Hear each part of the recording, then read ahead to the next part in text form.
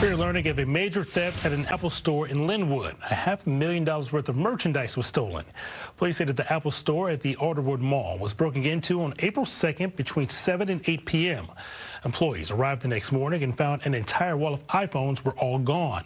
Around 436 devices were all stolen. The thieves got inside by cutting through the bathroom wall of a next door business. Investigators say that the thieves were wearing masks and that so far no fingerprints have been found.